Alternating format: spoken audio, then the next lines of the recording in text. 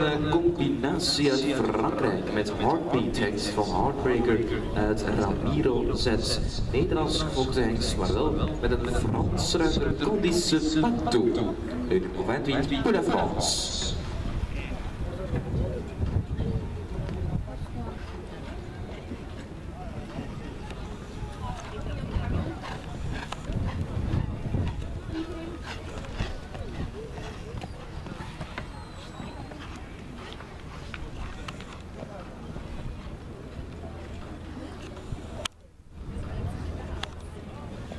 La Kronos se dominira, leva ali lista, ne?